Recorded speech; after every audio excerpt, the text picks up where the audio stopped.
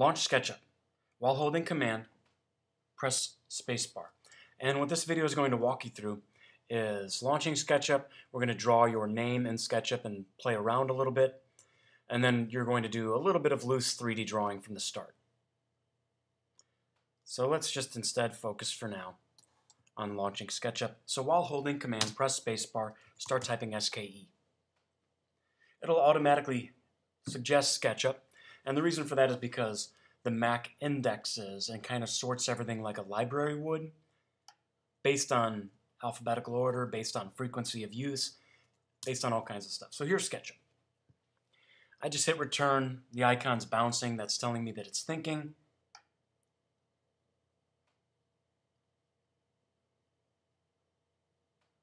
And be sure as uh, you go through this, you're pausing the video as you need.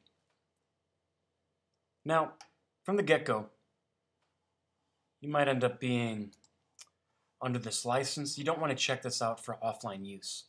We want to make sure that anybody can always get to this. So if I checked it out for uh, offline use, that would mean that uh, these 14 seats would start decreasing and that fewer and fewer people could use it. Uh, my simple template is feet and inches. Since we probably think of things in feet and inches, you might want to just go with that, and not mess around. Um, but you can probably just click Start using SketchUp.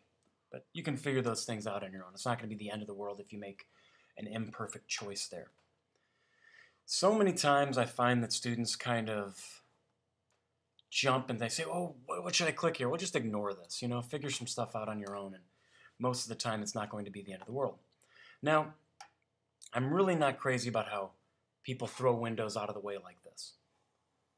I think it's better if you end up resizing them by doing a click and drag in this gray area, tucking them to the top left corner or to the bottom right corner as you see fit.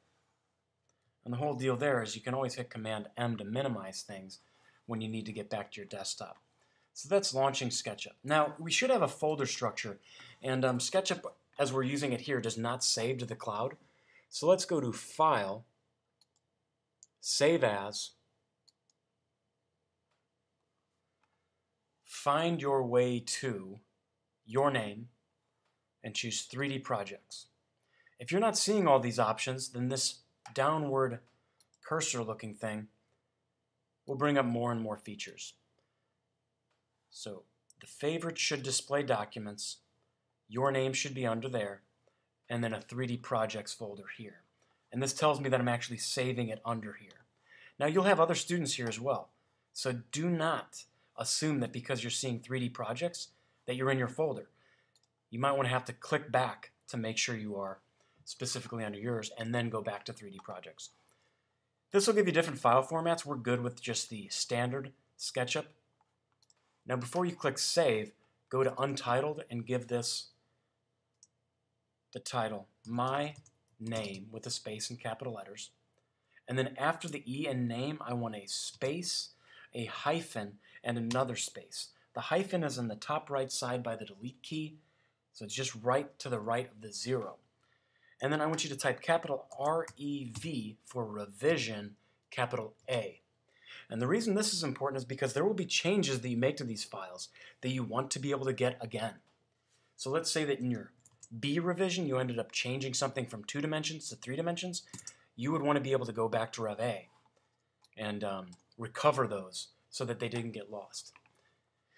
Now, just for practice, let's do a click on this lady and hit delete.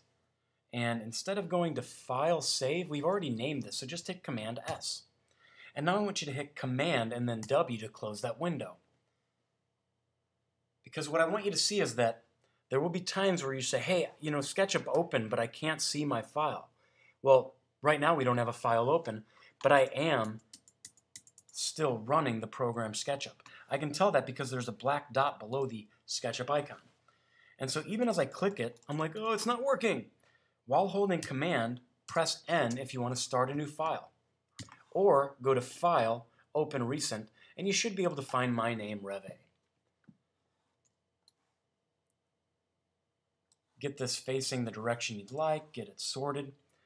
I'm going to encourage that you always try to draw in this green and red area. So right now, I want you to take your time, but not ridiculously, and try to build your name, but in block letters. There's a little bit of a delay in mine. Um, SketchUp is just acting weird. You should not be seeing that go on. So go ahead and just do your first name using this pencil tool, clicking as you go. I don't want this to be just um, letters like this, where it's like I made my J and it just looks like that. I want them to be block letters as you do this. So now go and uh, finish your name, pausing the video, and then once you finish it, resume the video I'm creating um, that you're watching. Alright, now assuming you pause the video, I want you to now click on this orbit button. And I want you to take a look at your name. What you'll probably realize is that you are not drawing 3D shapes like you thought you would. And that's because SketchUp is going to assume you know what you're doing. And what I'm going to tell you right now is that this is a plane, this red and green line makeup. This is another plane that is made up by your blue and green lines. And then you'd have another plane that would be made up back here that would be made up of the blue and red lines. So SketchUp has no idea the direction in which you're drawing. So they, they assume you know what's going on, but they really don't know and they have to make their best guess. So if you're just loosely drawing, that's not going to be perfect. So if you want things to turn solid and have gray colors as opposed to non-filled in, you're going to have to make sure that you're using these blue and red and green guiding lines to go from there. So let's jump back to what the purpose of this video is. So you've launched SketchUp, you saved this as you've gone, and um, now let's see you draw your name a little bit better this time, and I'll show you how I might draw something that isn't so simple as like you know, the letter T. Like a T might be kind of a little bit more obvious or easier to do than other lines. So there's my T, and then I can push that up. So my name's a J, so that's going to be a little bit tougher, right? And drawing in 3D is challenging because you don't know um, what it's going to look like sometimes until you're done with it. So this is supposed to be a frustrating trial and error process. So again, the words I used there were trial and error, meaning you try something, maybe you mess it up, which is totally normal, and you repeat the process until you get more and more comfortable with it. So let's check me out. Let's uh, let's click on this rectangle choice. If you don't see the rectangle choice, you're going to click this downward triangle, and you'll see that it'll bring up other options. You don't want rotated rectangle, you don't want circle, you don't want polygon, you want rectangle. So I'm going to do a click and drag, and I'm going to build my rectangle. Or I could do a single click at the origin and then move my mouse up in this direction and let go. The nice thing about doing it that way is that um, you're not having to be always holding on to that, and then if you accidentally let go in one direction, you'll end up with a misshapen block. And I'm like, okay, well, cool, I'm going to try to chip away at my J here. Maybe I click in, um, but I'm getting these warnings that I'm on the face of this rectangle. Well, that's what I want. Uh, red's good too because that tells me that this line that I'm drawing, even though it might not look like it, would be parallel to this red line. I can either press the erase button or hit E to bring up the erase key uh, tool and go from there. Now I'm picturing my J and I'm like, well, you know, this is straight and it's kind of like a T, right? So I could draw this in two green lines and then I could erase this whole chunk over here to get rid of that. Erase this chunk here to get rid of that. Erase that chunk. So I went past what I wanted to um, do what I needed. And then here I'm going to do a click and maybe I go beyond the line and I erase it. And this kind of looks like a J. Now I don't want to start pushing up my J because I have items in random places. So this push-pull button lets you raise or lower different chunks. Command Z is your friend. I can back up to where I didn't erase this. Um, so I'm going to go through and erase that. Go ahead and, in two dimensions, finish this with the rest of your name as best you can. Now I'm going to go to File, Save. I want to save it as revision A once before I push this into three dimensions. So I will now go back to File, Save As again, find my name, find the 3D Projects folder, and instead of my name Rev A, I'm going to change it to my name Rev B. And the reason I'm doing this is that I go from two dimensions to three dimensions. Things could get screwy. They could get messed up. So now I'm going to push this up and I'm just going to save it again. And if you want it to be even more clear, you could be like, my name Rev B 3D version. And I think I just ended up saving that in the wrong spot, so maybe this will be a good thing for me to show you. Um, so under my Finder window, I look in my Documents folder, Jon Rubin, 3D Projects, and I don't see the one I just made. So I can relocate a file and drag it into my spot as I need. Now they add these tildes sometimes, but you'll see the timestamp of when these were saved. And so that is you drawing your name and playing around in SketchUp almost. So let's go to a file and back to SketchUp again. Go to File, New File. And I want you to go to File, Save As, your name, 3D Projects, and call this one Playing Around, and then in parentheses, Test. I'm not really worried about revisions here or anything like that, and the reason I'm not, is this is just a playing around file. So here's playing around. This will be your second of two files that you have made so far today. Let's get rid of her by clicking on her, her, or you can press Command A and hit Delete. Your lady looks different from mine, probably if you have a different version of SketchUp. But for the most part, all these tools will be the same. So in this video, I want you to continue now and just start poking around with all different shapes. Just mess around. So take five, ten minutes. See what happens if you push chunks up. See what happens if you add shapes. Click them in. Pull them back. Do all kinds of stuff like that. See if you can get like hollowed out parts.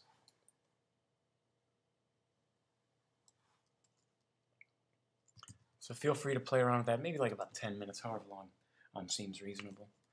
All this way I'm Command Wing to quit those. Usually I ask you if you want to save. Um, so again, this is a trial and error process. Let's move on to the third part of this.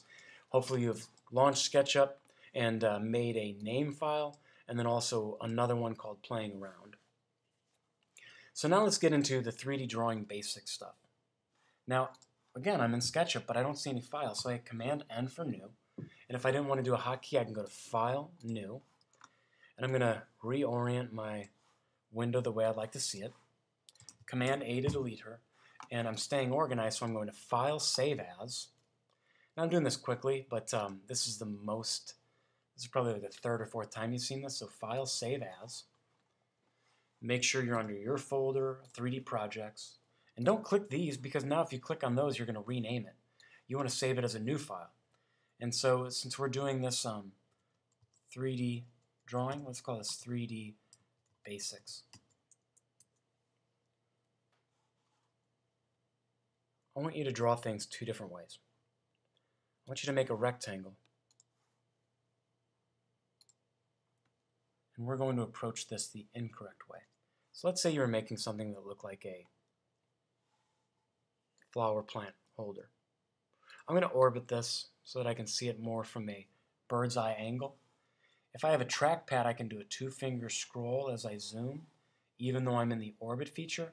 If I don't have a trackpad, then these magnifying glasses and the hand that pans and the zoom extents button will be my friend. Zoom extents button should always be your friend because let's say you get way far away from your drawing. If I click the zoom extents button, it'll bring me back to the extents of everything I drawn. So that let's say you ended up with a little line over here that you didn't even know was in your drawing. I think this is my whole drawing, but if I click Zoom Extents, SketchUp knows that I had something over there, and then maybe I can delete that and then Zoom Extents again to see a better viewpoint. So back to this rectangle, like let's say you're making like a flower bed or something. So somewhere on the inside, I will make another rectangle. I could also make that more precise by choosing the offset button and just offsetting some difference. And I know that I want my pit of my flower bed to have some elevation, but I want the top part of the flower pit, flower bed or whatever to be higher up and have a border. So I push this one up a little. If I make a mistake, I just hit Command Z. And then I push this up. Well, I want to go higher, but it's not letting me. So I keep on going a second time, and I should be good there. Um, now let's orbit this and orbit it to look from below. Because of the way in which I drew this, my bottom is hollow. And what I'm pointing out there is that the order in which I did this was I had everything drawn in two dimensions before I started pushing it up into three. So that is kind of the wrong way of doing this. And let's just do a um, little text tool label here. And let's label this as not 54.469 square feet, but let's label this as the wrong way. And then hit return, drawing 2D first. And really, I guess I could be more clear by saying pushing it up in 2D first. first. Now, let's try to do this in mostly the same area. So I can use that endpoint there, click and draw a new rectangle. But this time, before I draw the inside circle, I'm going to raise this up. Now, here's what's cool about SketchUp. You can actually do the push-pull button and snap it to the same height of an, another object by choosing the edge or the surface of that other object so that that will make it the exact same height. There's so many different ways you can approach 3D drawing. So just because I'm doing it one way doesn't mean you won't find better ways of your own. So I'm going to offset this now, and I'm going to bring the inner part all the way down. Well, I don't want this to not have a base. I want it to have some base, so that would be a mistake. But I do want you to see that if I wanted to have a totally hollow object, I could snap it to the end point or to the bottom of this, and then I can see it from above that it's clear. Hit undo because that's really not what I want to do. Command Z is undo again. So if I click the SketchUp uh, push-pull button, maybe I can move this not all the way to the bottom, but somewhere a little bit above and stop where I want. Now, here I'm not being precise and perfect, and that's really not necessary because we're not going to be printing this. But for what you print later, you're going to want to be more precise and way more perfect. But if I look at this you can see that it's not hollow on the bottom. And yeah, maybe you could just close it in later on, like in the shape on the left, but you don't know that that's always going to turn out perfect. So hopefully it's clear that there is the better way to drawing, and that is by raising and then drawing your next layers. Now you can imagine that this is fine for something as simple as we're doing here, but uh, think about if I were to look at a way more complicated um, project where somebody's doing multiple parts, or let's see if we got something even more challenging. No, these are pretty straightforward, but you know, here's glasses and you might have multiple parts going on there. So this will um, be a good stopping point. Hit Command S if you save this, and you can try to now draw better and uh, more interesting 3D shapes if you wanted, like a half pipe. So here's me pulling this up, bringing a circle to a side, erasing the top portion of it, and then pushing the half pipe all the way back um, to give it a cutout